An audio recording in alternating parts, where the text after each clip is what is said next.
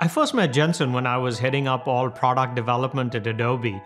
And we had heard about this company, NVIDIA, that wanted to do everything graphics on a chip. And I had heard even at that point that he was a very persuasive executive. It became very clear in the first meeting that Jensen was a very charismatic young guy who had a vision for creating an important company. When you meet somebody who's very bright and self deprecating and funny and has already in their life demonstrated a lot of perseverance and pluck, I just knew we wanted to be in business with these guys. Actually, Steve Jobs told me I ought to go speak to Jensen with what I was interested in. Jensen walks in, says hi, puts his hand in his pocket, and pulls out a couple of new chips. And he goes, Look at what I have. Look how cool this is. Look at what this can do. That was my introduction. The first time I met him, someone told me that uh, this guy is the CEO of NVIDIA. I looked at him, he just looked like any engineer. He is really an engineer's CEO, in my opinion.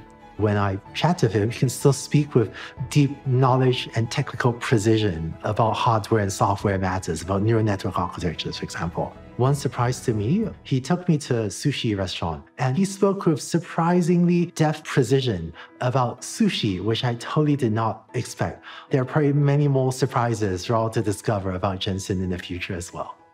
A few years ago, he came to Toronto and gave a talk and I realized he was someone who could think very quickly on his feet. He said that NVIDIA realized in 2012 they had a scientific supercomputer for doing deep learning. And I pointed out that we knew that in 2009. And so he promptly gave me, right there in the lecture, their very latest special edition GPU that had 32 gigabytes of memory.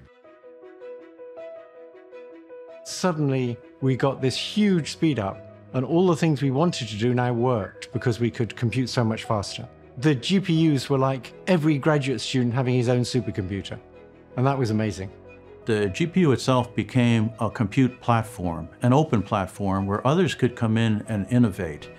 And of course, that was the secret to our success as we coupled our CPUs to the GPUs in both the PlayStation 3 platform, but also the Summit and Sierra supercomputers. NVIDIA has transformed the company from being just a 3D graphic card company to be a platform business that truly influenced every aspect of our lives. Adobe and NVIDIA have had this amazing relationship, and I think it stems from the fact that Jensen really takes the time to understand what Adobe's objectives are and how NVIDIA can help accomplish that. And together, frankly, how we can create magic. Jensen's initial presentation to us that we need to be doing AI for detecting early disease, we never even thought about doing it. It wasn't like, you know, we were doing it, we were gonna do it. It wasn't until after he left that I spoke to Bert Vogelstein at Hopkins, and the next thing you knew, the Lustgarten Foundation was funding us.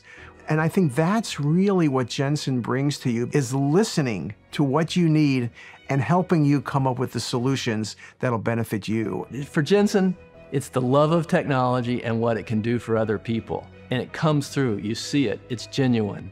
Jensen, more than anyone, shined a light into the future. He took what looked like science fiction to dreaming and then to building. A lot of the progress in AI over the last decade would not have been possible if not for Jensen's visionary leadership. I think Jensen's impact on the semiconductor industry, on AI, and through that on the world is almost incalculable.